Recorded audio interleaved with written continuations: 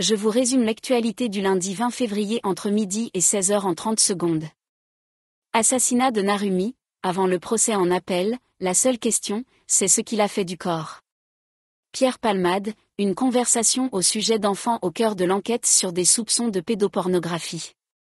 Scandale de corruption dans les fourrières, deux policiers mis en examen. Non, cette gigantesque faille n'a rien à voir avec le séisme en Turquie. À la faveur de la catastrophe en Turquie et en Syrie, une vidéo virale détourne les images d'une formation géologique située en Chine. Pour ne rien manquer de l'actualité quotidienne, abonnez-vous à ma chaîne.